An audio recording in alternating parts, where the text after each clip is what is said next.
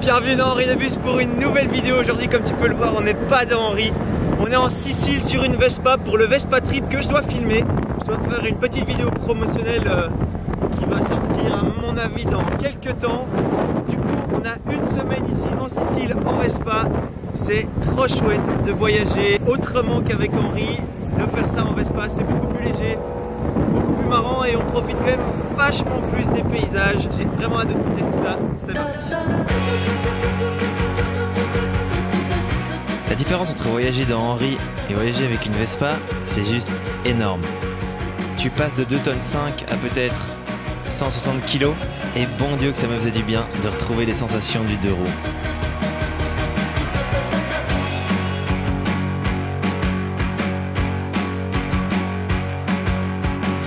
Je t'ai pas encore parlé du Vespa Trip, mais le Vespa Trip, c'est un voyage qui est organisé un peu partout en Italie, sur la côte amalfitaine, en Sicile, en Toscane, etc.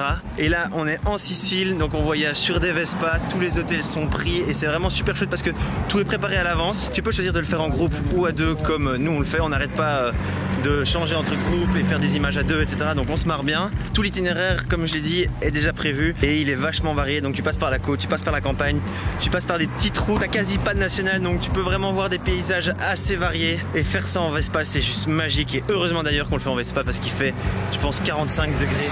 Du coup, si on le faisait dans Henri sans airco, ça serait un petit peu une autre histoire. Moi je suis là donc pour filmer cette semaine de Vespa Trip et en faire une petite vidéo de promotion pour Instagram par la suite. Hashtag Rolling Creative. Bref, on s'amuse bien.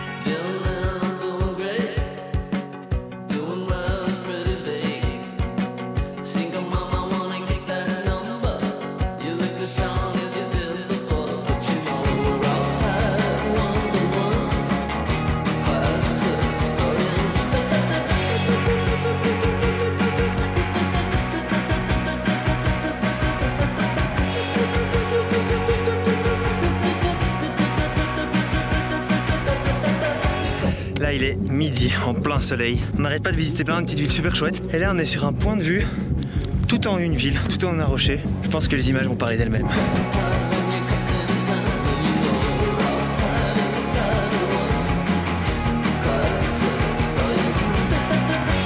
Au total, on a fait un bon 600 km à travers la Sicile. On n'a pas fait toute la Sicile, mais une bonne partie. Et clairement, faire 100 km en Vespa ou dans Henri, c'est bien différent. À la fin de la journée, même si t'as pas fait tellement de kilomètres, t'es quand même lessivé. Ce qui est marrant avec le Vespa Trip, c'est que ça fait plus d'une semaine qu'on fait que visiter des petits villages et des jolies petites villes dans toute la Sicile. Et c'est un peu en fait aussi pour ça que j'avais décidé de faire demi-tour de l'Italie avec Henri. C'est que quand tu es en haute saison et que tu es en Italie ben, principalement ce qu'il y a à faire en Italie du moins je pense c'est beaucoup de petits villages beaucoup de villes beaucoup de trucs avec une belle architecture etc et faire des villes et des petits villages en camping-car c'est une expérience totalement différente parce que tu arrives dans des petits villages italiens où les rues sont hyper étroites t'as pas beaucoup de parking t'as pas spécialement des endroits pour garer ton camping-car du coup, tu te sens beaucoup plus oppressé, beaucoup moins à l'aise que quand tu es dans des grands environnements. Et donc, c'est pour ça que j'avais décidé aussi de faire demi-tour. C'est que je me suis dit, voilà, j'aurai la chance de faire la Sicile en Vespa et je pense que c'est tellement plus approprié de visiter le sud de l'Italie en Vespa. C'est trop gai de, pouvoir se balader dans ces petites routes. Et c'est vrai qu'avec Henri, tu profites du paysage. Mais quand tu prends des routes sinueuses qui tournent non-stop, à la fin, Henri, il en peut plus. Du coup, c'est pas ce qu'il y a de plus agréable. Tandis que là, en Vespa, ben, c'était vraiment les conditions idéales. C'était visite de village, visite de petites villes, route de campagne, route de terre, route qui longe la plage, etc. Bref, nous, on n'a pas encore fini notre tour. Et on a encore beaucoup de choses à voir. T'es vachement libre pendant tout le trajet. Je sais même pas dans quelle ville on est, mais on va louer un mini bateau de 40 chevaux quand même. Alors que personne n'a le permis, mais apparemment c'est légal ici. Donc ça va être très marrant.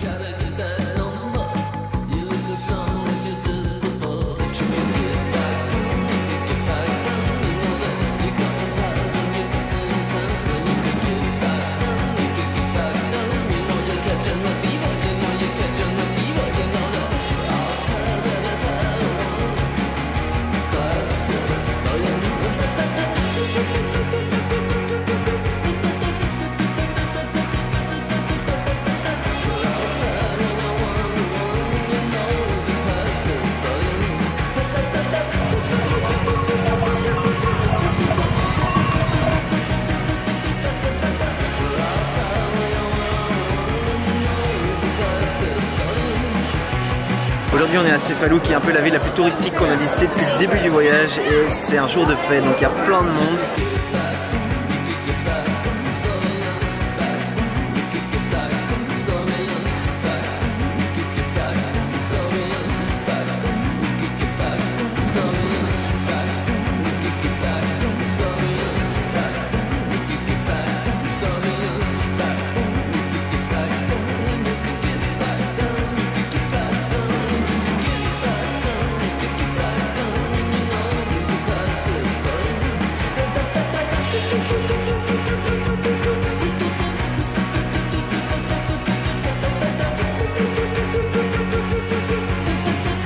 Dernier tour de roue.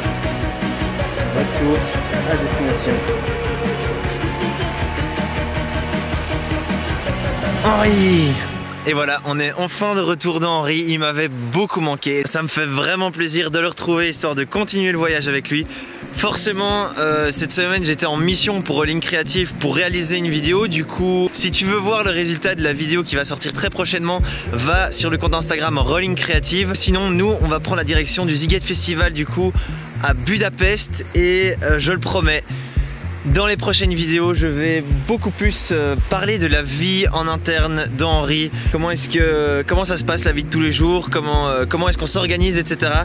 Du coup, ce sera beaucoup plus axé sur la van life et je pense que ça peut vraiment être super intéressant. J'espère que cette vidéo un peu différente comme d'habitude t'a quand même plu et que t'as apprécié. On se voit donc dimanche prochain pour une nouvelle vidéo avec Henri. Sur ce, je te dis à plus dans le bus.